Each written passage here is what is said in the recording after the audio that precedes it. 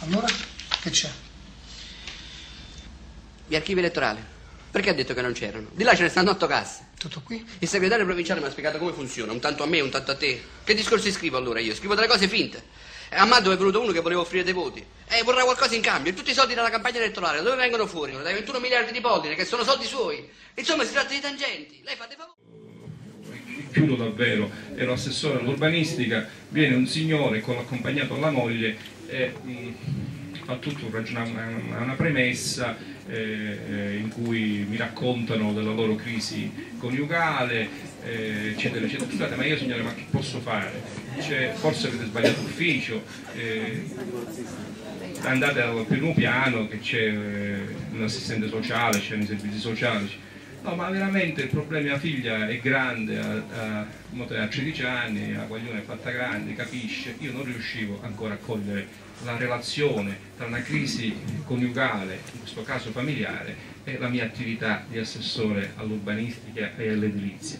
Insomma, la loro eh, crisi coniugale derivava dal fatto che gli spazi della casa ormai erano angusti e che non avevano, non avevano la possibilità di aumentare il volume, di aumentare il volume eh, edilizio diciamo, del, della propria abitazione, tutto ciò aveva determinato questa grande e irreversibile crisi se non fosse intervenuto l'assessore a risolvere il problema, ovviamente forzando eh, regolamenti e norme tecniche, perché se non avessero anche qui le domande sono spesso illegali, spesso illegittime, spesso al confine diciamo, della legalità, che altrimenti non avrebbe bisogno uno di venire, no, basterebbe una burocrazia più o meno efficiente, basterebbe la circolazione delle informazioni anche su rete.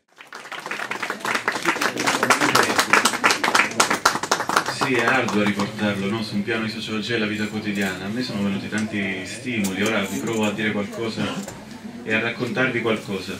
Sì, questa è una ricerca di sociologia della vita quotidiana e ne approfitto per ringraziare il maggiore esponente di sociologia della vita quotidiana in Italia che è oggi qui ed è colui che mi ha seguito nella ricerca, tra l'altro è Paolo Jedrowski, che è in sala.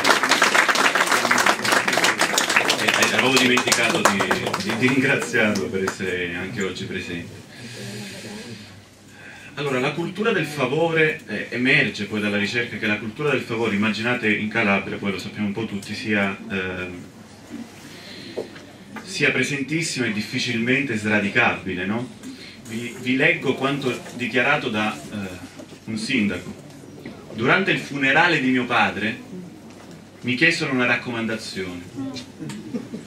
Questo episodio dimostra come la gente non capisce, non comprende, oppure cerca di cogliere qualsiasi attimo per chiedere il favore. L'ha scelto, eh? Chi è stato? Ma non l'abbiamo scelto, ce l'hanno dato. Non mi parlare così, stronzo, che vuol dire ce l'hanno dato? Non c'è nessuno qui dentro capace di dirmi se ci danno un imbecille o un genio, eh? Io mi ero fatto dare curriculum. Il curriculum! Bravo! Si l'ha fatto dare il curriculum! Ma vattene via, sparisci, non voglio più vedere questa faccia da frocio! Vai via, dammi dell'acqua, dai! Sistema è prettamente clientelare. Le persone ti vedono come detentrice del potere e quindi poi tutto, ti vedono come soluzione del problema del momento. E poi, ripeto, oltre a essere un sistema clientelare, non c'è una coscienza pubblica, non c'è una coscienza civica del voto. Questo viene dato per i favori.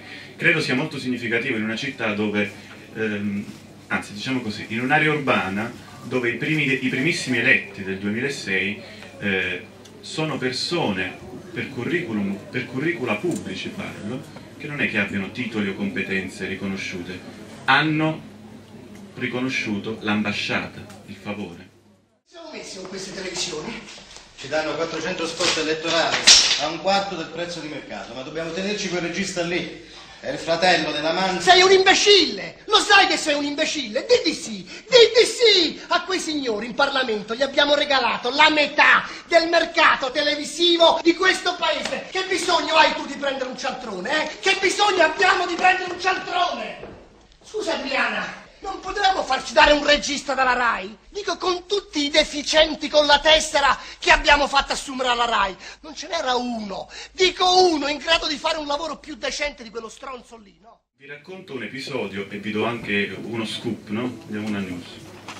Allora, io fino a febbraio, fino a gennaio, sono stato a Napoli e ho curato la campagna elettorale di un politico napoletano candidato alle primarie. Eh, svolgevo il ruolo di ghostwriter, scrivevo i discorsi, scrivevo i suoi articoli. Ehm, ufficialmente, lavoravo ufficialmente per lui, ufficiosamente io di notte prendevo i miei appunti etnografici. A Napoli, alle primarie, nonostante eh, si credeva, c'era il timore, la gente non va a votare, non c'è partecipazione, speriamo che almeno vadano a votare in 15.000, speriamo si arrivi a 17.000, diceva, erano primarie di coalizione a Napoli, eh, il, 24 gennaio, il 23 gennaio 2011. Ehm, sapete in quanti sono andati? 15.000, 17.000? Oltre 40.000 persone, sono andati in 44.000 persone a votare a Napoli e non perché i napoletani avessero voglia di partecipazione ma perché sono andati a votare in massa alle periferie napoletane e le persone che sono andate a votare o sono state pagate al momento oppure quelle persone dovevano riconoscere, dovevano a loro volta ricambiare il favore perché molti avevano ricevuto un posto di lavoro, molti erano assunti nelle cooperative, parlo per chi conosce Napoli delle zone di Miano, Scampia, Secondigliano, San Giovanni a e quella zona vicino eh, tra Napoli e San Giovanni a Teducci. Ecco. Niente. Fai molto bene. Questa domanda di vitalizio qui, messa in bella evidenza sulla mia scrivania, è opera tua? È un grandissimo poeta, non c'ha neanche i soldi per mangiare. E poi siccome non voleva mettere la firma, la firma l'ho fatta io, falsa. I poeti. Allora, quella mi chiedo che forma di partecipazione è? È comunque una forma di partecipazione, forse malata però, forse ragnosa.